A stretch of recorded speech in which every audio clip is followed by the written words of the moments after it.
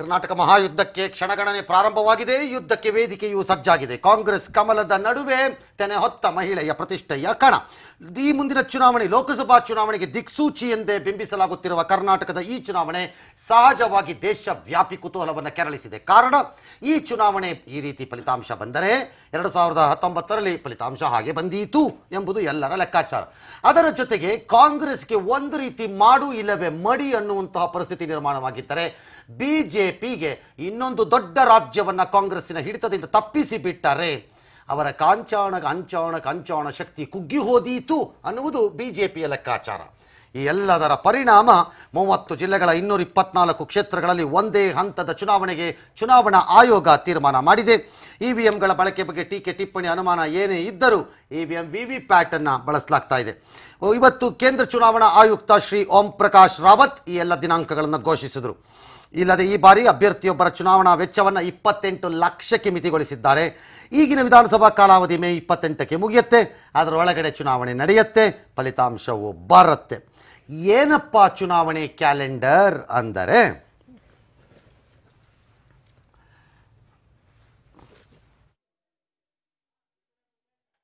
It is single phase election phase notification on seventeen on 17th April 2018.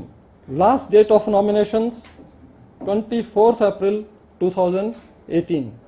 Date of scrutiny of nominations 25th April 2018. Last date for withdrawal of candidates is 27th April 2018. Date of poll is 12th May. Date of counting is 15th May. Along with the electronic voting machines, VVPAT shall be deployed in all future elections. Right ಹಾಗಾದ್ರೆ ಕ್ಯಾಲೆಂಡರ್ನ ನೋಡೋಣ. ಒಂದ್ಸರಿ quick ಆಗಿ. ಮೇ ಹನ್ನೆರಡು ಕರ್ನಾಟಕದ ಭವಿಷ್ಯವನ್ನ ಹಣೆ ಬರಹವನ್ನ ಅಂದ್ರೆ ಅಭ್ಯರ್ಥಿಗಳು ಹಾಗೂ ನಮ್ದು ಎರಡುವೆ. ನಾವು ಬರ್ಕೊಳ್ಳೋದು ಅವ್ರಿಗೆ ಬರೆಯೋದು. ಆ ದಿನ. ಅಲ್ವಾ. ನಮಗೆ ನಾವು ಬರ್ಕೊಳ್ಳೋದು. ಅವ್ರಿಗೆ ಬರೆಯೋದು. ಎರಡು ದಿನ. ಮೇ ಹದಿನೈದು ಈ ಬರ್ಕೊಂಡಿರೋದು ಬರೆಯೋ ಹಣೆ ಬರಹನ ಹೇಳೋ ದಿನ. ಅಂದ್ರೆ ಫಲಿತಾಂಶದ ದಿನ. ಚುನಾವಣಾ ಫಲಿತಾಂಶ ಪ್ರಕಟ ಮೇ ಹದಿನೈದು. ಇದು ಇಂದಿನಿಂದಲೇ ಅಂದರೆ ಮೇ ಹನ್ನೆರಡು ಹದಿನೈದು ನಾವು ಜ್ಞಾಪಕ ಇಟ್ಕೊಳ್ಳಿ ಮೇ ಹನ್ನೆರಡನೆಯ ತಾರೀಕು ಶನಿವಾರ ಎರಡನೇ ಶನಿವಾರ ಬಿದ್ದಂಗಿದೆ. ಪರಾರಿ ಆಗಬೇಡಿ ಊರುಗಳಿಗೆ. ಕಂಡು ಕಂಡು ಕಡೆ ಟೂರ್ ಟೂರ್ ಹಾಕೋಬೇಡಿ ಟೂರ್ ಇದ್ದೇ ಇರುತ್ತೆ ಎಲ್ಲೂ ಹೋಗಲ್ಲ. ಓಟ್ ಹಾಕ್ಬಿಟ್ಟು ಖಾಲಿ ಮಾಡಿ ಜಾಗ ಎಲ್ಲಿಗೆ ಬೇಕಾದ್ರೆ ಅಷ್ಟೇ ಬೆಳಗ್ಗೆ ಹಾಕಿ ಹೋಗ್ತಾರೆ. ಎಲ್ಲಿಗೆ ಬೇಕಾದ್ರೂ ಹೋಗ್ಕೊಳ್ಳಿ ಆಮೇಲೆ. ಆದರೆ ಹಾಕದೆ ಆಮೇಲೆ ಬಂದು ಏನಿದು ಚುನಾವಣೆ ಇದೇನು ಪ್ರಜಾಪ್ರಭುತ್ವ ಎಂ ಎಲ್ ಎನ? ಸರ್ಕಾರನ ಅಂತ? ಈ ಭಾಷಣ ಬಿಗಿಯೋದು ನಿಲ್ಲಿಸ್ಬಿಡಿ. ಕರೆಕ್ಟ್ ಹೌದು. ಆಯ್ತಾ? ಹಂಗಾಗಿ ಹನ್ನೆರಡು ಏನ್ ಮಾಡಬೇಕು? ವೋಟ್ ಮಾಡ್ಬೇಕು. ಎಲ್ಲೂ ಹೋಗಬಾರ್ದು. ಕರೆಕ್ಟ್ ಹೌದಾ? ಹೌದು. ಹದಿನೈದು ಏನ್ ಮಾಡಬೇಕು? ಫಲಿತಾಂಶ ಬರುತ್ತೆ ಎದುರು ನೋಡ್ಬೇಕು. ಅಲ್ಲ ಪುರ್ಸೊತ್ತಾಗಿದ್ದು ಮನೆ ಒಳಗಡೆನೇ ಇರಿ. ಪಬ್ಲಿಕ್ ಟಿವಿ ಮುಂದೆ ಕೂತ್ಕೊಳ್ಳಿ. ಅಷ್ಟೇ ಮುಗಿದೋಯ್ತು ಕತೆ. ಅಲ್ವಾ? ಇಂದಿನಿಂದಲೇ ನೀತಿ ಸಂಹಿತೆ ಜಾರಿಗೆ ಬರ್ತಾ ಇದೆ. ಇದರ ಪರಿಣಾಮಗಳೇನು ಅಂತ ಆಮೇಲೆ ಹೇಳ್ತೀನಿ. ಆದರೆ ಏಪ್ರಿಲ್ ಹದಿನೆಂಟು ಈಗ ನಾನು ಹೇಳೋ ದಿನಾಂಕಗಳು ಯಾವುದು ನನಗೂ ನಿಮಗೂ ಸಂಬಂಧವಿಲ್ಲ. ಅದೆಲ್ಲ ಅವ್ರವ್ರು ಮಾಡ್ಕೊಳ್ಳೋ ವ್ಯವಹಾರಗಳು ಹಣೆ ಬರಗಳು ಅವ್ರ ಪ್ರಮಾ ಪ್ರಾಬ್ಲಮ್ ಅದು. ನಮ್ಮ ಪ್ರಾಬ್ಲಮ್ ಅಲ್ಲ. ನಮ್ಗೆ ಎರಡೇ ಡೇಟು ಹನ್ನೆರಡು ಹದಿನೈದು. ನಮ್ದು ಎರಡೇ ಡೇಟು ಆದರೂ ಎಲೆಕ್ಷನ್ಗೆ ನಿಲ್ಲಬೇಕು ಅಂತ ಯಾರು ಯಾರು ಎಲ್ಲೆಲ್ಲಿ ಟವಲ್ ಹಾಕೊಂಡು ಓಡಾಡ್ತಿದ್ದಾರೋ ಅವ್ರಿಗಾರು ಹೇಳೋಣ. ಏಪ್ರಿಲ್ ಹದಿನೇಳು ಚುನಾವಣೆಯ ಅಧಿಸೂಚನೆಯನ್ನು ಪ್ರಕಟ ಮಾಡ್ತಾರೆ. ಏಪ್ರಿಲ್ ಹದಿನೇಳು. ಇಪ್ಪತ್ತ ನಾಲ್ಕು ಅಂದರೆ ಏಳು ದಿನಗಳ ಒಳಗಡೆ ನಾಮಪತ್ರ ಸಲ್ಲಿಕೆಗೆ ಕಡೆಯ ದಿನ ಆಗಿರುತ್ತೆ. ಹದಿನೇಳರಿಂದ ಇಪ್ಪತ್ನಾಲ್ಕರವರೆಗೆ ಯಾರು ಬೇಕಾದ್ರೂ ಸಲ್ಲಿಸ್ಕೋಬೋದು ನಾಮಪತ್ರಗಳನ್ನು. ಇಪ್ಪತ್ತೈದು, ಈ ಎಲ್ಲ ನಾಮಪತ್ರಗಳನ್ನು ಪರಿಶೀಲನೆ ಮಾಡ್ತಾರೆ. ಸರಿ ಇದೆಯಾ? ಸರಿ ಇಲ್ವಾ? ಬಿ ಫಾರ್ಮ್ ಕೊಟ್ರಾ? ಕೊಟ್ಟಿಲ್ವಾ? ಅಫಿಡವಿಟ್ ಕೊಟ್ರಾ? ಕೊಟ್ಟಿಲ್ವಾ? ಆಸ್ತಿ ಡಿಕ್ಲೇರ್ ಮಾಡಿದ್ರಾ? ಇಲ್ವಾ? ಎಲ್ಲ ನೋಡ್ತಾರೆ ಒಂದ್ಸರಿ. ಸರಿ ಇದೆ ಎಲ್ಲ ಅಂದರೆ ಇಪ್ಪತ್ತೇಳಕ್ಕೆ ನಾಮಪತ್ರವನ್ನು ವಾಪಸ್ ಪಡೆಯಲು ಕೊನೆಯ ದಿನ ಇರುತ್ತೆ. ನೀವು ವಾಪಸ್ ಪಡಿಬೇಕು. ವಾಪಸ್ ಪಡೆದ್ರೆ ಪಡೆಯೋರಿಗೆ ಇದಿಷ್ಟು ಡೇಟ್ಗಳು ನಮ್ದು ನಿಮ್ದು ಅಲ್ಲ. ಇದಿಷ್ಟು ಡೇಟ್ಗಳು ಯಾರದ್ದು? ಅಭ್ಯರ್ಥಿಗಳದ್ದು ಆಗಬೇಕು ಅನ್ಕೊಂಡಿರೋರದ್ದು ಅವ್ರಿಗಿದು ಡೇಟ್ಗಳು. ಈ ಡೇಟ್ಗಳನ್ನ ಕರೆಕ್ಟಾಗಿ ಬರ್ಕೊಳ್ಳಿ ಅಭ್ಯರ್ಥಿಗಳು ಆಗಬೇಕು ಅಂತಿರೋರು ಆಗಿರೋವರು. ಯಾಕೆ ಅಂದರೆ ಈ ಡೇಟಲ್ಲಿ ಎಷ್ಟೆಷ್ಟೊತ್ತಿಗೆ ಏನೇನು ಕೆಲಸ ಮಾಡಬೇಕು ಅಂತ ಈಗ ಹೋಗ್ಬೇಕಲ್ಲ ಚೆಕ್ ಮಾಡಕ್ಕೆ ನೀವು ಭಾಳ ಕಡೆ. ಇದು ಹನ್ನೊಂದಕ್ಕೆ ಮಾಡ್ಲಾ? ಹನ್ನೆರಡು ಕಾಲಿಗೆ ಮಾಡೋಣವಾ? ಚೆಕ್ ಮಾಡ್ಕೋಬೇಕಲ್ಲ? ಹಂಗಾಗಿ ಡೇಟ್ ಬರ್ಕೋಬೇಕು ಅವರು. ಓಕೆ ಅಲ್ವಾ? Correct. ಆಲ್ ರೈಟ್ ಎಸ್ ಇನ್ನೂರ ಇಪ್ಪತ್ನಾಲ್ಕು ವಿಧಾನಸಭಾ ಕ್ಷೇತ್ರಗಳನ್ನ ಹೊಂದಿರುವಂತಹ ರಾಜ್ಯದಲ್ಲಿ ಕಳೆದ ಬಾರಿ ಅಂದ್ರೆ ಎರಡ್ ಸಾವಿರದ ಹದಿಮೂರರಲ್ಲಿ ಕಾಂಗ್ರೆಸ್ ನೂರ ಇಪ್ಪತ್ಮೂರು ಬಿಜೆಪಿ ನಲವತ್ನಾಲ್ಕು ಮತ್ತು ಜೆಡಿಎಸ್ ನಲವತ್ತು ಸೀಟ್ಗಳನ್ನ ಗೆದ್ದಿತ್ತು.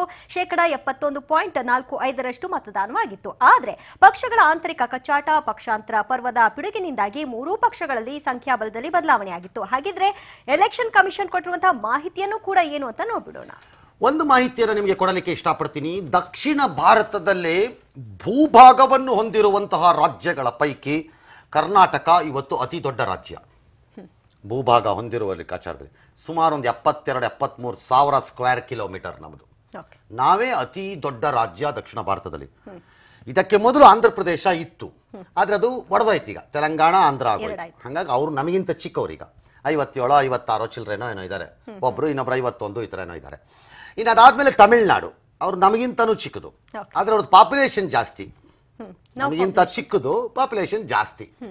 ಇನ್ನು ಕೊನೆಯದು ಕೇರಳ. ಅದು ಪುಟಾಣಿ. ಅದೊಂದು ಹದಿನಾಲ್ಕು ಸಾವಿರನೋ ಹದಿನಾರು ಸಾವಿರ ಸ್ಕ್ವೇರ್ ಕಿಲೋಮೀಟರ್ ಇರುವಂಥ ರಾಜ್ಯ ಅದು. ಹಾಗಾಗಿ ದಕ್ಷಿಣ ಭಾರತದಲ್ಲೇ ಭೂಭಾಗವನ್ನು ಹೊಂದಿರುವ ಲೆಕ್ಕಾಚಾರದಲ್ಲಿ. ಜಿಯೋಗ್ರಫಿಕಲಿ ಹೇಳೋದಾದ್ರೆ ಅತ್ಯಂತ ದೊಡ್ಡ ರಾಷ್ಟ್ರ ಅಯ್ಯೋ ರಾಜ್ಯ ಕರ್ನಾಟಕ. ತಪ್ಪಾಯ್ತು. ರಾಷ್ಟ್ರ ಅಲ್ಲ ರಾಷ್ಟ್ರ ಅಲ್ಲ ರಾಷ್ಟ್ರ ಅಲ್ಲ. ಹಾ. ಅಲ್ಲ ನಾಳೆ ಅಮಿತ್ ಶಾ? ಅಮಿತ್ ಶಾ ಅವ್ರ ಎಡ್ವರ್ಡ್ ಅಲ್ರಿ ಬೆಳಗ್ಗೆ ಸ್ಟಾರ್ಟ್ ಮಾಡ್ತಾರೆ ಕಾಲ್ ಬುಕ್ ಕೈ ಬುಕ್ ಅಲ್ಲ ಮೇಲೆ. ಟ್ರಾಲ್ ಹ, ದೇಶವನ್ನ ವಿಭಜಿಸುವ ಮತ್ ಯತ್ನ ಅಂತ ಸ್ಟಾರ್ಟ್ ಮಾಡೋರ ಮೇಲೆ. ಯಾವ ಗ್ರಾಚಾರ? ಅದಕ್ಕೆ ಹೇಳಿದ್ ನಾನು. ಓಕೆ ರಾಜ್ಯ. ಮತ್ತೆ ಹೇಳ್ತೀನಿ ರಾಜ್ಯ. ಈ ರಾಜ್ಯದಲ್ಲಿ ಒಟ್ಟು ಐವತ್ತಾರು ಸಾವಿರದ ಆರುನೂರ ತೊಂಬತ್ತಾರು ಮತಗಟ್ಟೆಗಳನ್ನು ಸ್ಥಾಪಿಸ್ತಿದ್ದಾರೆ. ಕಾರಣ ಈ ಬಾರಿ ಚುನಾವಣಾ ಆಯೋಗದ ಒಂದು ಧ್ಯೇಯ ಏನಪ್ಪಾ ಅಂದ್ರೆ ವೋಟರ್ ಕನ್ವೀನಿಯನ್ಸ್ ಅನ್ನೋದು. ಅವ್ರದ್ದೊಂದು ಧ್ಯೇಯವಾಗಿ ಘೋಷಣೆ ಮಾಡ್ಕೊಂಡಿದ್ದಾರೆ ಅದನ್ನ. ಅಂದ್ರೆ ಮತದಾರರು ಅತಿ ಕಡಿಮೆ ಕಷ್ಟ ಇರಬೇಕು ಅವರಿಗೆ ಮತಗಟ್ಟೆಗಳಿಗೆ ಹೋಗಿ ತಲುಪಕ್ಕೆ. ಎಷ್ಟು ಹತ್ತಿರದಲ್ಲಿ ಸಾಧ್ಯವಾಗುತ್ತೆ ಅಷ್ಟು ಹತ್ತಿರದಲ್ಲಿ ಸ್ಥಾಪನೆ ಮಾಡಿಕೊಡಬೇಕು. ಅನ್ನೋದು ಅವರ ಧ್ಯೇಯ ವಾಕ್ಯ ಈ ಸರಿಗೆ. ಹಾಗಾಗಿ ತುಂಬಾ ಮತಗಟ್ಟೆಗಳ ಸಂಖ್ಯೆಯನ್ನು ಜಾಸ್ತಿ ಮಾಡ್ಕೊಂಡಿದ್ದಾರೆ ಈ ಸರಿ. ಐವತ್ತಾರು ಸಾವಿರದ ಆರುನೂರ ತೊಂಬತ್ತಾರು. ಒಟ್ಟು ಮತದಾರರು ಕರ್ನಾಟಕದಲ್ಲಿ ನಾಲ್ಕು ಕೋಟಿ ತೊಂಬತ್ತಾರು ಲಕ್ಷದ ಎಂಬತ್ತೆರಡು ಸಾವಿರದ ಮುನ್ನೂರ ಐವತ್ತಾರು ಜನ. ಹೆಚ್ಚು ಕಡಿಮೆ ಹಿಂಗು ಹಂಗು ರೌಂಡ್ ಆಫ್ ಮಾಡೋಣ ಸರ್ ಅದ್. ಏನ್ ಸರ್ ಚಿಲ್ರೆ? ಸ್ವಲ್ಪ ಸೇರ್ಸ್ಕೊಂಡು ಹೇಳಿ. ಅಂತಂದ್ರೆ ಒಂದು ಐದು ಕೋಟಿ ಇಟ್ಕೋಬೇಕು ನೀವು ಅಷ್ಟೇ. ನಾಲ್ಕು ಕೋಟಿ ಕಡಿಮೆ.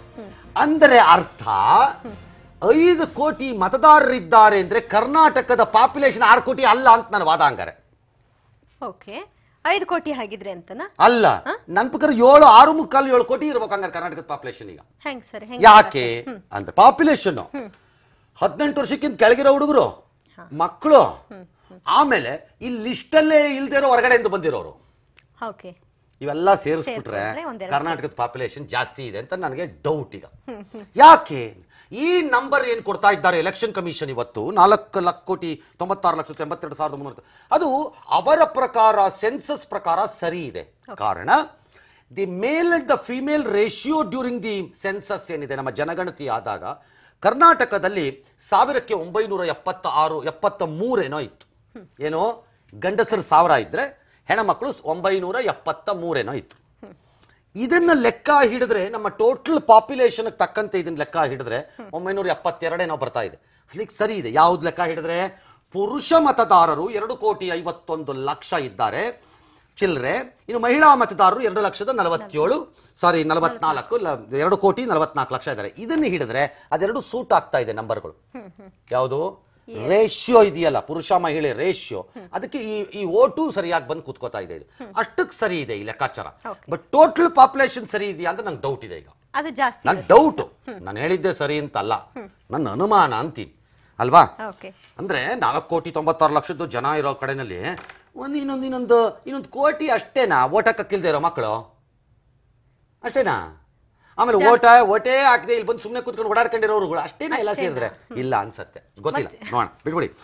ಪ್ರತಿ ವಿಧಾನಸಭೆಯ ಸರಾಸರಿ ಮತದಾರರ ಸಂಖ್ಯೆ ಕನಿಷ್ಠ ಇದು. ಗರಿಷ್ಠ ಅಲ್ಲ.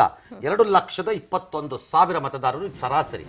ಈಗಲೂ ಅಲ್ಲೊಂದು ಇಲ್ಲೊಂದು ಕೆಲವು ಕಾನ್ಸ್ಟಿಟ್ಯೂನ್ಸಿ ಇದೆ. ನಾಲ್ಕು ಲಕ್ಷ ಮೂರು ಲಕ್ಷ ಐದು ಲಕ್ಷ ಚಿಲ್ಲರೆ ಮತಗಳಿರುವಂಥ ಕೆಲವು ಕಾನ್ಸ್ಟಿಟ್ಯೂನ್ಸಿಗಳು ಅಲ್ಲೊಂದು ಇಲ್ಲೊಂದು ಇದೆ. ಬಟ್ ಭಾಳ ಕಡಿಮೆ ಆಗಿದೆ. ಓಕೆ ಹೊಸದಾಗಿ ಸೇರ್ಪಡೆಯಾದ ಮತದಾರರು ಏಳು ಲಕ್ಷದ ಎಪ್ಪತ್ತೆರಡು ಸಾವಿರದ ಆರುನೂರ ನಲವತ್ತೊಂಬತ್ತು ಜನ. ಇವರು ಹೊಸದಾಗಿ ಸೇರ್ಪಡೆ ಆಗಿದ್ದಾರೆ. ವೆರಿ ಗುಡ್ ನೀವಾದರೂ ದಯವಿಟ್ಟು ಮತ್ತೆ ಹಾಕ್ರಪ್ಪ. ಹೊಸದಾಗಿ ಸೇರ್ಕೊಂಡಿರೋರು. ನೀವು ಕೈ ಬಿಟ್ಟು ಬಿಟ್ಬಿಡಿ ಆಮೇಲೆ. ಬಿಟ್ಬಿಡಿ ಹೊಸ ಸೇರ್ಪಡೆಯಲ್ಲಿ ಇದು ಕಡಿಮೆ ಅಂತ ಅನ್ಸುತ್ತೆ ಸರ್? ಏಳು ಲಕ್ಷ ಚಿಲ್ಲರೆ ಇಲ್ಲ. ಸರಿ ಇದೆ. ಕ್ವಾಂಟಿಟೇಟಿವ್ಲಿ ಕರೆಕ್ಟ್ ಇದೆ ಅನ್ಸುತ್ತೆ. Looking into the figures it's okay fair enough ಅನ್ಸುತ್ತೆ ಅದು. ಇನ್ನು ಸಿ ಬಹಳ ಸರಳ ರೀ ನಿಮಗೆ ಎಷ್ಟು ಜನ ಆ್ಯಡ್ ಆಗಬೇಕು ಅನ್ನೋಕ್ಕೆ. ನನ್ನ ಪ್ರಕಾರದಲ್ಲಿ ಒಂದು ಚೂರು ಜಾಸ್ತಿ ಇರ್ಬೋದಾಗಿತ್ತೇನೋ. ಯಾಕೆ ಅಂದರೆ ಕಳೆದ ಚುನಾವಣೆಗೆ ಹೋಲಿಸ್ಕೊಂಡ್ರೆ ನಮ್ದು ಭಾಳ ದೊಡ್ಡ ಚುನಾವಣೆ ಯಾವುದು ಹಿಂದೆ ಆಗಿಲ್ವಲ್ಲ? ಈಗ ನಮ್ದು ಇದೇ ದೊಡ್ಡ ಚುನಾವಣೆ. ಯಾಕಂದ್ರೆ ನಾವು ಲೋಕಸಭಾನು ಮುಗಿಸಿ ಆಗಲೇ ನಾಲ್ಕು ನಾಲ್ಕು ವರ್ಷ ಆಗ್ತಾ ಬಂದ್ಬಿಟ್ಟಿದೆ ನಮ್ಮದು ಯಾಕೆ ಅಂತ ಹೇಳ್ತೀನಿ ಕಾರ್ಪೊರೇಷನ್ ಎಲೆಕ್ಷನ್ ಟೈಮಲ್ಲಿ ಒಂದಷ್ಟು ಸೇರ್ಕೊಂಡಿರುತ್ತೆ ಒಳಗೆ ಬಂದಿಲ್ಲ. ನಮ್ಮ S S L C cross ಮಾಡಿದ್ದ ಮಕ್ಕಳ ಸಂಖ್ಯೆ ಲೆಕ್ಕ ಹಾಕಳಿ ವರ್ಷದಿಂದ ವರ್ಷಕ್ಕೆ. ಎಷ್ಟು ಅಂತ. ಫೇಲ್ ಆದವ್ರನ್ನು ಸೇರಿಸಿ. ಓಕೆ ಸರಾಸರಿ ಹದಿನಾರು ವರ್ಷಕ್ಕೆ ಮುಗಿಸಿರ್ತಾರೆ. ಎರಡು ವರ್ಷಕ್ಕೆ ಲೆಕ್ಕ ಇಡಿದ್ರು. ಪಿ ಯು ಸಿ ಲೆಕ್ಕ ಹಿಡ್ಕೊಂಬಿಡಿ ಎಲ್ಲಾ ಸಬ್ಜೆಕ್ಟ್ದುವೆ ಎಷ್ಟು ಮಕ್ಕಳು ಆಚೆ ಬರ್ತೀವಿ ಅಂತ ಗೊತ್ತಾಗ್ಬೇಕಲ್ಲ ನಮ್ಗೊಂದು ಲೆಕ್ಕ ಸಿಗ್ಬೇಕಲ್ಲ? ರಫ್ ಆಗಿ. ಇರಲಿ ಪರವಾಗಿಲ್ಲ.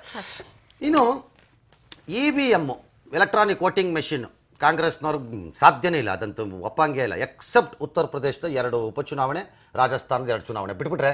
ಆಮೇಲೆ ಗುಂಡ್ಲುಪೇಟೆ ಮತ್ತೆ ನಂಜನಗೂಡು. ಅವ್ರದೇ ಮೇಜರ್ ಅದು ಬಿಟ್ಟು ಇನ್ನೆಲ್ಲೂ ಯೂಸ್ ಮಾಡಂಗಿಲ್ಲ E V M. But still use ಮಾಡ್ತಾರೆ. ಎಲೆಕ್ಷನ್ ಕಮಿಷನ್ ಅವ್ರು ಯಾರಿಗೂ ಬಗ್ಗ ಲಕ್ಷಣ ಇಲ್ಲ ಅವರು. ಮಾಡೇ ಮಾಡ್ತೀವಿ ಅಂತಾನೆ ಮಾಡ್ತಾರೆ. ಬಟ್ ವಿ ವಿ ಪ್ಯಾಟ್ ಅನ್ನ ಮೊದಲ ಬಾರಿಗೆ ಅಳವಡಿಸ್ತಿದ್ದಾರೆ. ವಿವಿ ವಿ ಪ್ಯಾಟ್ ಅಂತಂದ್ರೆ ಬಹಳ ದೊಡ್ಡ ಎಂಟು ಇದು ಒಂದು ಟೆಕ್ನಾಲಜಿ ಅಂತ ನೀವು ಓಟ್ ಹಾಕಿದ್ದು ಯಾರಿಗೆ ಅಂತ ಒಂದು ಸ್ಲಿಪ್ ಸಿಕ್ಕತ್ತೆ ಅಂದ್ರೆ ನಮ್ಮ. ಕೈಗೆ ಸಿಗುತ್ತಾ ಸರ್? ಅಥವಾ ಅದ್ರಲ್ಲಿ ಅದೇ ಅದೇ ಕೈಗೆ ಸಿಗತ್ತೆ. ಹಾ. ಅದ್ ಏನಂತಂದ್ರೆ ಈ ಹಿಂದೆ ಒಂದು ಅಲೆಗೇಷನ್ ಇತ್ತಲ್ವಾ? ನಾವ್ ಯಾವ ಬಟನ್ ಒತ್ತಿದ್ರು ಅದು ಬಿಜೆಪಿಗೆ ಹೋಗ್ತಾ ಇದೆ ಅಂತಿದ್ರು. ಹೌದು. ಅದೊಂದು ಅದೊಂದು ಆರೋಪ. ಹೌದು, ನಮ್ಮ ಅಲ್ವಾ? vote waste ಆಗ್ತಿದ್ಯಾ ಅನ್ನೋದು ಭಯ. ಏನೇ ಒತ್ಲಿ ಸರ್ ಅದು ಕುಯ್ ಅಂತ ತಕ್ಷಣ ಬಿಜೆಪಿ ಹೋಗ್ತಾ ಇದೆ ಒಟ್ಟು ನೋಡಿ ಅಂತಿದ್ರು. ಅದಕ್ಕೆ ಈಗ ಅಲ್ಲೊಂದು ಸ್ಲಿಪ್ ಬರುತ್ತೆ. ಬಟ್ ಬೆಳಿಗ್ಗೆ ಇದನ್ನ ಪ್ರಕಟ ಮಾಡಿದಾಗ ನನಗೊಂದು ಸಣ್ಣ ಕನ್ಫ್ಯೂಷನ್ ಇತ್ತು. ಈ ಈ ಚೀಟಿನೇನಪ್ಪ ಮಾಡೋದು? ಹೊರಗಡೆ ಬಿಡ್ತಿರೋ ಹೆಂಗೆ ಅಂತ. ಆಮೇಲೆ ಹೇಳಿದ್ರು ಬಿಡಿಗಿಡಂಗಿಲ್ಲ ಅಲ್ಲ ಡಬ್ಬಾ ಇಟ್ಟಿರ್ತಾರೆ ಹಾಕ್ಬೇಕಲ್ಲಿ ಅದನ್ನಂತ ಯಾಕೆಂದ್ರೆ ನನಗೆ ಭಯ ಸ್ಟಾರ್ಟ್ ಆಗಿದ್ದಿದ್ದು. ಈ ಚೀಟಿನೇನಾದ್ರೂ ಹೊರಗೆ ಬಿಟ್ಕಿಟ್ಬಿಟ್ಟಿದ್ದಿದ್ರೆ ಏನ್ ಪ್ರಾಬ್ಲಮ್ ಹಬ್ಬ ಹಬ್ಬ ಹಬ್ಬ ಹಬ್ಬ ಹಬ್ಬ. ಅಂದ್ರೆ ಯಾರ್ಯಾರು ಎಷ್ಟು ಬಂತು ಅಂತ ಗೊತ್ತಾಗ ಓಟ್ ಹಾಕಿ ಚೀಟಿ ಹಿಡ್ಕೊಂಬಂದ್ ತೋರ್ಸೋ ಮಿಕ್ಕಿದಮ್ಮ ನೋಡ್ಕತ್ತೀವಿ ಅಂತಾರೆ ಕನ್ಫರ್ಮೇಶನ್ ಆ. ಸರ್ಕಾರನೇ ರಶೀತಿ ಕೊಟ್ಟಂಗ ಆಗ್ಬಿಡೋದು ಬಹಳ ವಿಚಾರಕ್ಕೆ. ಹೌದು. ಆಮೇಲೆ ಯಾರೋ ಹೇಳಿದ್ರು ಇಲ್ಲ ಇಲ್ಲ ಇಲ್ಲ ಅಲ್ಲೇ ಹಾಕಿ ಬರ್ಬೇಕು ಅಂತ ತಗೊಂಬರಕ್ ಆಗಲ್ಲ ಇವರು ಅಂತ. ಅಂದ್ರೆ ಬೂತ್ ಅಧಿಕಾರಿಗಳಿಗೊಂದು ಲೆಕ್ಕ ಸಿಕ್ಬಿಡ್ತಲ್ವಾ ಅಷ್ಟರ ಸರ್ ಮಟ್ಟಕ್ಕೆ ನೆಮ್ಮದಿ ಆಯ್ತು ನನಗೆ. ಸರ್ ಬೂತ್ ಅಧಿಕಾರಿಗಳಿಗೊಂದು ಲೆಕ್ಕ ಸಿಕ್ಕಿರಲ್ವಾ ಅಂತ? ಸೀಲ್ಡ್ ಇರುತ್ತೆ ಬಾಕ್ಸು ರೀ. ಏನ್ ಅದೇನದು ಇದು ಕೆಟ್ಟೋಯ್ತಾ? ಹಿಡಿದು ಹಿಡಿದು ಹಿಂಗೆ ಹಿಂಗೆ ಲೆಕ್ಕ ಹಾಕೊಂಡ್ಬಿಟ್ಟು ಎತ್ತಿಟ್ಕೊಂಡು ಕಟ್ಟೆ ಹಾಕೊಂಡ್ಗಳು ಏನೊಂದು ಬಾಕ್ಸ್ ಸೀಲ್ಡ್ ಇರುತ್ತೆ ಅದು. ಹಂಗೆಲ್ಲ ಇರಲ್ಲ ಅದು. ಮತಗಟ್ಟೆಗಳಲ್ಲಿ ಅಂಗವಿಕಲರಿಗೆ ವಿಶೇಷ ಸೌಲಭ್ಯಗಳನ್ನು ಕಲ್ಪಿಸ್ತಾ ಇದ್ದಾರೆ. ಫೆಂಟಾಸ್ಟಿಕ್ ಬಟ್ ಇಪ್ಪತ್ತೆಂಟು ಲಕ್ಷ ವೆಚ್ಚ ಇರುವಂತಹ ಅಭ್ಯರ್ಥಿಗಳಿಗೆ ಒಂದು ಎಚ್ಚರಿಕೆ. ಅದೇನು ಅಂದರೆ ಈ ಬಾರಿ ಚುನಾವಣಾ ಆಯೋಗ ಹೇಳ್ತಾ ಇದೆ ಮತಕೇಂದ್ರಗಳ ಹೊರಗೆ ಅದೊಂದು ಐವತ್ತು ಮೀಟರ್ ದೂರದಲ್ಲೋ ನೂರು ಮೀಟರ್ ದೂರದಲ್ಲೋ ಏನೋ ಒಂದು ಟೇಬಲ್ಗಳು ಹಾಕಿ ಹೌದು ಹೌದು. ಅಲ್ಲಿ ಅವ್ರವ್ರ ಪಕ್ಷದವ್ರನ್ನ ಒಂದು ಜನ ಕೂರಿಸಿ ಅಲ್ಲೊಂದು ಕಾಂಗ್ರೆಸ್ ಬಾವುಟ ಬಿಜೆಪಿ ಬಾವುಟ ಜನತಾದಳ ಬಾವುಟ ಹಾಕೊಂಡು ಇವ್ರ ಪಕ್ಷದ ಸಿಂಬಲ್ ಚಿಹ್ನೆ ಇರೋದು ಒಂದೊಂದು ಸ್ಲಿಪ್ ಅಲ್ಲಿ ಸರ್ ಬನ್ನಿ ಸರ್ ಇಲ್ಲೇ ಇದೆಯಲ್ಲ ನಿಮ್ದು ಒಂದು ಹಿಂಗೆ ಸೀಲ್ ಮಾಡ್ಕೊಡ್ತಿದ್ರು ನಮಗೆ. ಅವ್ರದ್ದು ಏನು ಐಡಿಯಾ ಅಂದ್ರೆ ನಾವು ಈ ಸ್ಲಿಪ್ ಕೊಟ್ಬಿಟ್ರೆ ಇವ್ರು ನಮ್ಗೆ ಹಾಕ್ಬಿಡ್ತಾರೆ ಒಟ್ಟು ಅನ್ನೋ ಟೈಪ್ ಅದು. ಲಾಸ್ಟ್ ಮಿನಿಟ್ ಎಫರ್ಟ್ ಅದು ಪಾಪ. ಆ ಎಫರ್ಟ್ ಅನ್ನ ಮಾಡಬೇಡಿ ಸರಿ. ಯಾಕೆ ಅಂದ್ರೆ ಎಲೆಕ್ಷನ್ ಕಮಿಷನ್ ಹೇಳ್ತಾ ಇದೆ ಈ ವೋಟರ್ ಅಸಿಸ್ಟೆನ್ಸ್ ಫೆಸಿಲಿಟಿಯನ್ನ ನಾವು ಮಾಡಿದೀವಿ. ನೀವು ಮಾಡಕ್ಕೆ ಹೋಗಬೇಡಿ ಮಾಡಿದರೆ ಅದರ ವೆಚ್ಚವನ್ನ ಅಭ್ಯರ್ಥಿಗೆ ತಗಲಿಸ್ತೀವಿ ಅಂತ ಹೇಳಿದ್ದಾರೆ. ಆಯ್ತಾ? ವೆರಿ ಗುಡ್ ಇನ್ನು ರಾಹುಲ್ ದ್ರಾವಿಡ್ ಅವ್ರನ್ನ ಎಲೆಕ್ಷನ್ ಕಮಿಷನ್ ಅವರು. ರಾಯಭಾರಿಯಾಗಿ ಘೋಷಣೆ ಮಾಡ್ಕೊಂಡಿದ್ದಾರೆ.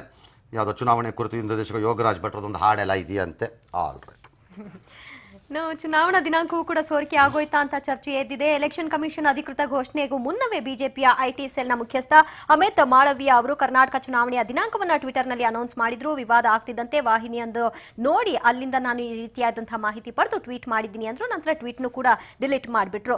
ಈ ವಿಷಯವಾಗಿ ಬಹಳಷ್ಟು ಗೊಂದಲಗಳು ದೊಡ್ಡ ಮಟ್ಟಿಗಿನ ಚರ್ಚೆ ಆಯಿತು. ದೇಶದಲ್ಲಿ ಬಿಜೆಪಿಯವರೇ ಸೂಪರ್ ಎಲೆಕ್ಷನ್ ಕಮಿಷನ್ ಎಲ್ಲರಿಗಿಂತ ಮೊದಲೇ ಚುನಾವಣಾ ದಿನಾಂಕ ಗೊತ್ತಾಗುತ್ತೆ. ಚುನಾವಣಾ ಆಯೋಗ ಎಷ್ಟರ ಮಟ್ಟಿಗೆ ನಿಷ್ಪಕ್ಷಪಾತವಾಗಿ ಕೆಲಸ ಮಾಡ್ತಾ ಇದೆ, ನಿಷ್ಠೆಯಿಂದ ಕೆಲಸ ಮಾಡ್ತಾ ಇದೆ ಅಂತ ಗೊತ್ತಾಗುತ್ತೆ ಅಂತ ಕಾಂಗ್ರೆಸ್ ಆರೋಪ ಮಾಡಿತು. ಜೊತೆಗೆ ಮಾಳವಿಯ ಮೇಲೆ ಕೇಸ್ ಹಾಕಬೇಕು, ಬಿಜೆಪಿ ಅಧ್ಯಕ್ಷರಿಗೆ ನೋಟಿಸ್ ಅನ್ನು ಕೊಡಬೇಕು ಅಂತ ದೆಹಲಿಯಲ್ಲಿ ಖರ್ಗೆ ಆಗ್ರಹಿಸಿದ್ರು. ದೆಹಲಿಯಲ್ಲಿ ಯೂತ್ ಕಾಂಗ್ರೆಸ್ ಸಹ ಪ್ರತಿಭಟನೆಯನ್ನ ನಡೆಸಿತು. ಈ ಮಧ್ಯೆ ಏಳು ದಿನಗಳ ಒಳಗೆ ತನಿಖಾ ವರದಿ ನೀಡುವಂತೆ ಆಯೋಗದ ಹಿರಿಯ ಅಧಿಕಾರಿಗಳ ತಂಡ ರಚಿಸಿ ಮುಖ್ಯ ಚುನಾವಣಾ ಆಯುಕ್ತ ರಾವತ್ ಆದೇಶವನ್ನ ಮಾಡಿದ್ದಾರೆ. ಈ ಮಧ್ಯೆ Modi versus Rahul, Facebook data ವಾರ್ನಲ್ಲಿ Congress, Cambridge, ಅನಾಲಿಟಿಕಾದ ಕ್ಲೈಂಟ್ ಅಂತ ಇಂಗ್ಲೆಂಡ್ನ ಸೊಲ್ಲಿಗ ಆ, ಕ್ರಿಸ್ಟೋಫರ್ ಮಾಹಿತಿಯನ್ನ ನೀಡಿದ್ದಾರೆ. ಕಮಿಷನ್ದು ಕಾನ್ಫಿಡೆನ್ಷಿಯಲ್ ಮ್ಯಾಟರ್ ಇರ್ತದೆ. ಟಿಲ್ ಅವ್ರು ಅನೌನ್ಸ್ ಮಾಡೋವರಿಗೆ ಯಾರಿಗೂ ಗೊತ್ತಾಗಬಾರ್ದು ಅಂತ ಹೇಳಿ. ಹಂಗ ಲೀಕ್ ಯಾರು ಮಾಡಿದ್ರು?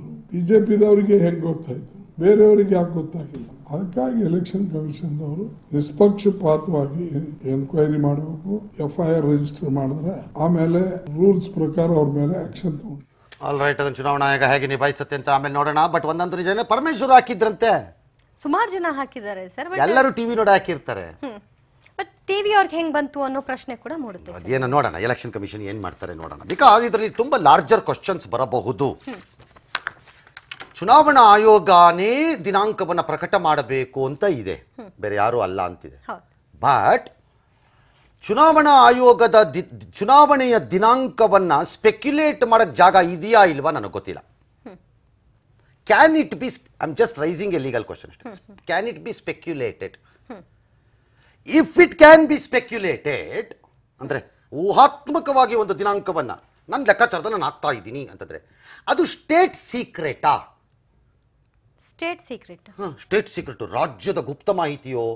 ಲೀಕ್ ಆದ್ರೆ ರಾಜ್ಯಕ್ಕೆ ಕಷ್ಟ, ದೇಶಕ್ಕೆ ಕಷ್ಟ, ವೈರಿಗೆ ತಿಳಿದು ಬಿಟ್ಟರೆ ಕಷ್ಟ ಅಂತಾನೋ? ನನ್ ನನ್ನಂದು ಅದರ ಪಾವಿತ್ರತೆ ಏನು? ಅವಾಗ ಆ ಕ್ಷಣಕ್ಕೆ ಅವರೇ ಪ್ರಕಟಿಸಬೇಕು ಅನ್ನೋ ಪಾವಿತ್ರ ಇವೆಲ್ಲ ಅಂಶಗಳು ಚರ್ಚೆಗೆ ಬರುತ್ತೆ. ಬಟ್ ಇಂಪ್ರೊಪ್ರೈಟ್ ಪ್ರೊಪ್ರೈಟಿ ಡಿಮಾಂಡ್ಸ್ ಏನು? ಅಂದ್ರೆ ಸೌಜನ್ಯ ಏನು? ಅಂದ್ರೆ ಇಲ್ಲಿಯವರೆಗೆ ನಾವೆಲ್ಲ ಪಾಲಿಸ್ಕೊಂಡ್ ಬಂದಿರೋದು ಯಾಕಂದ್ರೆ ಫಸ್ಟ್ ಟೈಮ್ ನಮಗೂ ಈ ಅನುಭವ ಆಗ್ತಾ ಇರೋದು. ನಮಗೂ ಐಡಿಯಾ ಇಲ್ಲ ಇವೆಲ್ಲ. ಪಾಲಿಸ್ಕೊಂಡ್ ಬಂದಿರೋದು ಚುನಾವಣಾ ಆಯೋಗ ಅದನ್ನು ಪ್ರಕಟ ಮಾಡುವವರಿಗೆ ಉಳಿದವರೆಲ್ಲ ಹಿಂಗೆ ಬಾಯಲ್ಲಿ ಹಿಡ್ಕೊಂಡು ಕೂತಿರ್ಬೇಕು ಅಂತ ಇತ್ತು.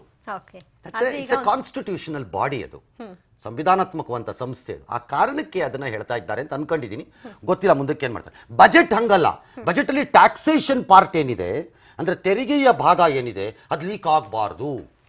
ಹಿಂದಿನ ದಿನ ಲೀಕ್ ಆಗಿಬಿಟ್ರೆ ತೆರಿಗೆದಾರರಿಗೆ ಲಾಭಗಳಾಗ್ಬಿಡತ್ವೆ. ಇದರಲ್ಲಿ ಲಾಭ ಏನು? ಓಕೆ ಯಾವಾಗಿದ್ದು? ಡ್ಯಾಮೇಜ್ ಏನು? I don't know maybe ಒಂದು ಒಂದು ಡಿಸಿಷನ್ ಬರುತ್ತೆ ಸ್ಟಿಲ್ ಆಲ್ ರೈಟ್ ಅದಕ್ಕೊಂದು ಗೈಡ್ ಲೈನು ಬರ್ಬೋದು ಮುಂದೆ. ಇನ್ನು ಮುಂದಕ್ಕೆ ಯಾವತ್ತಾರು ಫಸ್ಟ್ ಟೈಮ್ ಆಗಿರೋದ್ರಿಂದ. ಅಲ್ವಾ? ಆದ್ರೆ ಈ ಈ ಎಲ್ಲಾ ಎಲೆಕ್ಷನ್ಗಳನ್ನ ನೀವು ನೋಡ್ಕೊಂಡು ಬಂದ ಹಾಗೆ ಈ ಬಾರಿಯ ನೀತಿ ಸಂಹಿತೆ ತುಂಬಾ ಸ್ಟ್ರಾಂಗ್ ಆಗಿದೆ ಅಂತ ನಿಮ್ಗೆ ಫಸ್ಟ್ ಟೈಮ್ ನೋಡಿದಾಗ ಎಲ್ಲರಿಗೂ ಸ್ಟ್ರಾಂಗ್ ಸ್ಟ್ರಾಂಗ್ ಅನ್ಸುತ್ತೆ. ಬಹಳ ಗುಣಾತ್ಮಕವಾದಂತಹ ಗಾಬರಿ ಬೀಳಿಸುವಂತಹ ಬದಲಾವಣೆಗಳು ರಾಜ್ಯದ ರಾಷ್ಟ್ರದ ಚುನಾವಣೆಗಳಲ್ಲಿ ಆಗಿದ್ದಿದ್ದು ಯಾವಾಗ ಅಂದ್ರೆ ಶೇಷನ್ ಅವಧಿಯ ಒಂದು ಚುನಾವಣೆ ಅದು. ಆಗ ಇವೆಲ್ಲ ಸ್ಟಾರ್ಟ್ ಆಗಿದ್ದು. Observer micro observer mini observer ಆಮೇಲೆ ವಿಡಿಯೋ ಕ್ಯಾಮ್ರಾ ಹಿಡ್ಕೊಂಡು ತೆಕ್ಕೊಂಡು ಓಡಾಡೋದು ಆಮೇಲೆ ಎಕ್ಸ್ಪೆಂಡಿಚರ್ ಅಬ್ಸರ್ವರು ಆ ಡಬ್ಲ್ಯೂ ಎಕ್ಸ್ಪೆಂಡ್ ಅಬ್ಸರ್ವರು ವೈ ಎಕ್ಸ್ಪೆ ಅಬ್ಸರ್ವರು ಅಂದ್ಕೊಂಡು ಇವೆಲ್ಲ ಸ್ಟಾರ್ಟ್ ಆಗಿದ್ದು ಆ ಕಾಲದಲ್ಲಿ. ಅದೊಂದು ಅದೊಂದು ಪರಿವರ್ತನೆ ಆದಂತಹ ಸಮಯ. ಅದಾದ್ಮೇಲೆ ಇಂಪ್ರೂವ್ಮೆಂಟ್ಗಳಾಗ್ತಾ ಹೋಗ್ತಿವೆ. ನಾನು ಇಲ್ಲ ಅಂತ ಹೇಳ್ತಿಲ್ಲ. ಇನ್ನು ಮುಂದಕ್ಕೆ ಈಗ ಸೋಷಿಯಲ್ ಮೀಡಿಯಾ ಮೇಲೆ ಒಂದಷ್ಟು ರೆಗ್ಯುಲೇಷನ್ಸ್ ತರಬಹುದು ಮತ್ತೊಂದು ಮಾಡಬಹುದು ಮೀಡಿಯಾ ಮೇಲೆ ಬರಬಹುದು ಹಿಂದೆ ಎಲ್ಲ ಮೀಡಿಯಾ ಮೇಲೆ ಇರಲಿಲ್ಲ.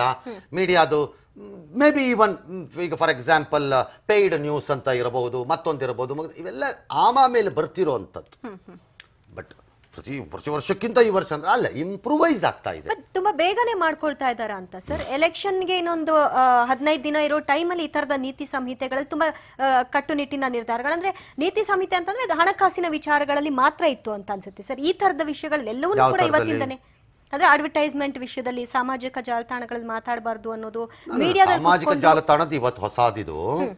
ಅಡ್ವರ್ಟೈಸ್ಮೆಂಟ್ ಮೊದಲು ಇತ್ತಲ್ಲ? ಸರ್ ಅಂದ್ರೆ ಎಂಟು ದಿನ ಹದಿನೈದು ದಿನ ಮುಂಚೆ ಅಲ್ವಾ ಸರ್? ಮೊದಲು ಅಡ್ವರ್ಟೈಸ್ಮೆಂಟ್ ಯಾವತ್ತಿಂದ ಜಾರಿಗೆ ಬಂತು ಅವತ್ತಿಂದ ಹಾಕಂಗಿಲ್ಲ ಅಂತ ಇತ್ತು. ಸಿ ಎಲ್ಲವೂ ಯಾವಾಗ ಪ್ರಶ್ನೆಗೆ ಬರುತ್ತವೆ ಅಂದ್ರೆ ತಿಸ್ರ ಜಾಸ್ತಿ ಆದಾಗ. ಹಿಂದೆ ಎಲ್ಲ ಚುನಾವಣೆ ಅಂದ್ರೆ ಏನು? ಎಂಬತ್ಮೂರಕ್ಕೆ ಹಿಂದಕ್ಕೆ ಹೋಗ್ಬಿಟ್ರೆ ಎಪ್ಪತ್ತ ಎಪ್ಪತ್ತೈದು ಎಪ್ಪತ್ತೇಳಕ್ಕೆ ಹಿಂದಕ್ಕೆ ಹೋಗ್ಬಿಟ್ರೆ ನೀವು ಚುನಾವಣೆ ಅಂದ್ರೆ ಏನು? ಕಾಂಗ್ರೆಸ್ ಅಭ್ಯರ್ಥಿ ಹಾಕೋದು ಗೆದ್ದ ಮನೆಗೆ ಹೋಗೋದು ಅಷ್ಟೇ ಕೆಲಸ. ಓಕೆ. ಕೇಳೋನ್ ಯಾವನು ಹೇಳೋನ್ ಯಾವನಾಗ? ಇದನ್ನೆಲ್ಲ ಬೂತ್ ಹತ್ರ ಹೋದ್ರೆ ಟೇಬಲ್ ಹೇಳದ್ನಲ್ಲ ಈಗ ಆ ಟೇಬಲ್ ಹಾಕಕ್ ಜನ ಇರ್ತಿರ್ಲಿಲ್ಲ ಬಾಳ ಪಕ್ಷಕ್ಕೆ ಬಾಳ ಹಳ್ಳಿಗಳಲ್ಲಿ? ಹಿಂದೆ ಇಲ್ಲ. ಈಗ ತಿಸ್ರ ಜಾಸ್ತಿ ಆಗಿದೆ. ಹಂಗಾಗಿ ಏನಾಗುತ್ತೆ ಎಲ್ಲವಕ್ಕೂ ಅಬ್ಜೆಕ್ಷನ್ ಬರುತ್ತೆ ಎಲ್ಲವೂ ದೊಡ್ಡ ದೊಡ್ಡದಾಗಿ ಕಾಣುತ್ತೆ ಅಷ್ಟೇ. ಹೈಫೈ ನಾಯಕರ ಮೇಲೆ ನಿಗಾ ಇಡೋದು ಅದನ್ನೆಲ್ಲ ಯಾಕೆ ಮಾಡ್ತಾರೆ ಸರ್? ಅಂದ್ರೆ ಅದರ ಹೈ ಫೈ ಆಕ್ಟಿವಿಟಿ ಏನಾದ್ರು ಮಾಡ್ತಾರೆ ಅಂತ ಅಷ್ಟೇ. ಇನ್ನೇನಿಲ್ಲ. ಓಕೆ ಇನ್ನೆಂಥದ್ದು ಇಲ್ಲ. ಹೈ ಫೈ ಅಲ್ಲಿ ಏನಾದ್ರು ಮಾಡ್ತಾರೆ ಅಂತ ಅಷ್ಟೇ. ಈ ವಿವಿ ಪ್ಯಾಟ್ ನಿಂದಾಗಿ ಮತ್ತೆ ಒಂದು ಸಮಸ್ಯೆ ಉದ್ಭವ ಆಗಲ್ವಾ ಸರ್? ಮತ್ತೆ ಈಗ ಏನು ಎಲ್ಲರೂ ಆರೋಪ ಮಾಡ್ತಾ ಇದ್ದಾರೆ. ಆ ಎಲ್ಲಾ ಗೊಂದಲಗಳ ನಿವಾರಣೆ ನೋ ನೋ ನನ್ನ ಪ್ರಕಾರ let this experiment we go ನಡೀಲಿ ಇದು ಎಕ್ಸ್ಪರಿಮೆಂಟ್ ಈ ಪ್ರಯೋಗ. ನಾಳೆ ವಿ ವಿ ಪ್ಯಾಟ್ ಇಂದು ಯಾವ್ದಾದ್ರು ಒಂದು ಮತ ಇದ್ರದ್ದು ವಿಚಾರದಲ್ಲಿ ದೊಡ್ಡ ಬಂದಾಗ ವಿ ವಿ ಪ್ಯಾಟ್ ಮ್ಯಾಚ್ ಆಗದೆ ಇದ್ರೆ then we think it's wrong something ಅಂತ ಆಗ್ಬೇಕಲ್ಲ ಆಗ? ಹಂಗಾಗಿ ಎಕ್ಸ್ಪರಿಮೆಂಟ್ ಆಗಲಿ. ನಾನು ಈಗಲೂ ಹೇಳೋದು ಕಾಂಗ್ರೆಸ್ನವ್ರಿಗಾಗ್ಲಿ ಜೆ ಡಿ ಎಸ್ನವ್ರಿಗಾಗ್ಲಿ ಎಸ್ ಪಿಗಾಗ್ಲಿ ಬಿ ಎಸ್ ಪಿಗಾಗ್ಲಿ ಮತ್ತೊಬ್ಬರಿಗಾಗ್ಲಿ. ಸಂಬಡಿ ಶುಡ್ ಶೋ ಹ್ಯಾಕ್ ಮಾಡಿ ಇಟ್ಬಿಡ್ಬೇಕು ಕೆಳಕದನ್ನ ಇಲ್ಲಿ ಆಗಲ್ಲ ಇದು ಸುಮ್ಮನೆ ಸುಮ್ಮನೆ ಬೇಡ ಬೇಡ ಬೇಡ ಅಂದ್ರೆ ಆಗಲ್ಲ